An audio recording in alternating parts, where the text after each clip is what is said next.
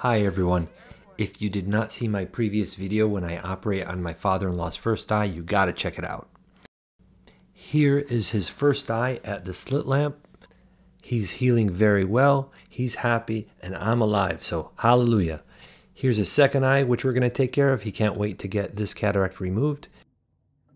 And these are his uh, OCTs. This is his right eye, which looks great. His left eye has a small epiretinal membrane there. So that's why his right eye is a tiny bit better than his left eye in terms of his retina. And here we go, moving on with the cataract surgery for his second eye. This is his left eye. We are doing this surgery manually without laser. It's all by hand. There are advantages of using laser and there are advantages of doing it manually. Although laser can be more precise, I decided to do this surgery with my hands because I feel that I have absolute control of my hands. I would have considered using laser if his cataract was very dense, but his was not. So here we are, we're breaking up the cataract into small crumbs so that we can take out the cataract material through a tiny incision. Everything's coming out as it's supposed to. Here we are stripping the cortex of the cataract away from the capsular bag. It's like the outermost layer of an onion. It's coming out fairly easily. After this, we're gonna polish. We're gonna polish the anterior capsule.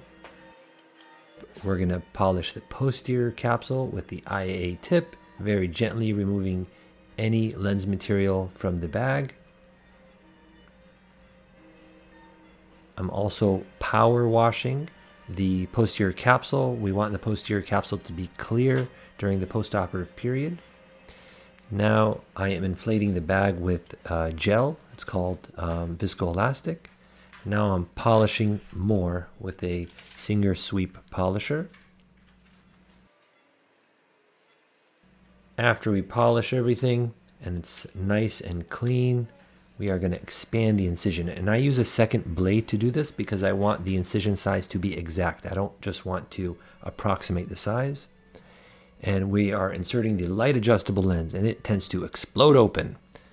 It always makes every surgeon nervous, but I've done so many of them that I'm used to it now. And I am rotating the lens into the capsular bag. Now we're just going to remove the viscoelastic gel out of the eye, returning the eye to its natural state, but with the new lens. We are hydrating the incision so that we leave behind a watertight seal. Those are just some air bubbles. Now we're just checking the eye pressure, making sure the incisions are watertight. And it's good. It's done. So we got the light adjustable lens in the bag. Here he is postoperatively. That's his first eye and his second eye. Both look very good you can actually see the center of the optic where this triangular prism of light meets at a point in the center of the pupil. I'll show it to you right now. Do you see that rainbowish color meeting right at the center? That's the center of the optic. So if you stick around, I'm going to show you what his vision is like so far before his light adjustments. And then I'll create another video later on showing the adjustments and what ultimately we decide to target his vision as. There's the center of the optic again. Beautiful. Hey, I'm with my father-in-law and we're going to check his uh, vision. This is the far vision. Effendi Baba, can you uh, read that for me? Yeah. C, B, F, Z, E. Okay, how about this one? L E Z P V Okay, how about this one? P B T S D. Good job. How about, I'm going to push you. How about these?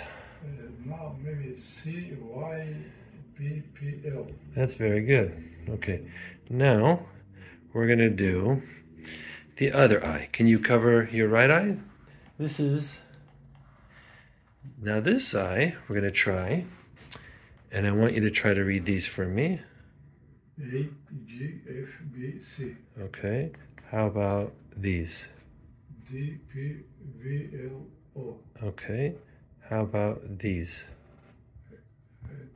Maybe L, V, C, Okay, good. All right, so you got all except one. And then I'm going to push you a little bit. This one's maybe too hard. This is 2015. So, Maybe TS, TS, Yeah, you got a couple. But this left eye has a slight epiretinal membrane. Okay, now cover your uh, left eye. All right. And I'm going to give you this reading card. Okay. Now, you tell me on this reading card, what's the smallest one you can do? You tell me where the smallest one that you can read. I want you to hold it even a little closer. Yeah. Hold it closer. Yeah. Can you see these? Yes. Okay. How about Yeah. how about these? Okay, Two, eight, read- four, three. I almost dropped my camera there. Hold on. All right. So now for here, tr- can you read these? These numbers? No, no. These no. How about here? Two, eight, four, three. Okay, so that's with your right eye there. Now, how about the other side? Switch oh. eyes. Okay. Now, you can hold this again. Yes. Can you see uh, here? Yes. All right. I want you to read these. Yeah. Eight, seven, four. How about here? It, this is a little bit cloudy. It was two, eight, four, three. no? Okay. Any of these or no? No. So both eyes are only about 20 or J16. Okay, so it's J16. So you don't have any ability to read now without glasses. This is before the adjustments. We did not do any adjustments yet. Um, and so this is his uh, auto refraction, and this is his uh, manifest refraction right here. This is the manifest, okay? So now we are going to do his first light adjustment. Thanks for watching, everyone. I'll catch you on the next one. Peace.